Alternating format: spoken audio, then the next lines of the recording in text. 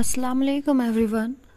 Today I am going to tell you the Makkah period from the Seerah of Prophet Muhammad. Prophet Muhammad was born in Elephant's Year, that is in 570 CE.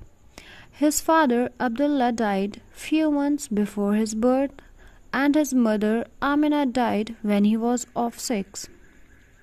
He was raised by his grandfather Abdul Muttalib after the demise of his grandfather Abu Talib, his uncle took care of him. At the age of 25, he got married to Hazrat Khadija. In his 30s, he started visiting Cave Hira. When he was 40, he received his first revelation at Mount Nur in Cave Hira. He started preaching and inviting people secretly for three years and openly in the fourth year of prophethood. Then his tribe, that is Banu Hashim, got boycotted by the people of Makkah.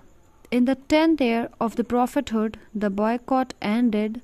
Also, this year was the year of sorrow for Prophet Muhammad, because in this year he lost his beloved wife Hazrat Khadija and his uncle Abu Talib and also in this year the Taif incident took place and he stopped receiving the revelation. So, by these incidents, he got so much depressed. Then, after some months or weeks, Allah sent Surah Doha in the revelation. And this surah, that is Surah Doha, is an antidepressant surah. In his eleventh year of prophethood, Allah gave him a beautiful gift of Al Isra wal Miraj. That is, Allah took Muhammad on a journey from Mecca to Jerusalem and then to heaven. Al Isra wal Miraj is also known as the night journey.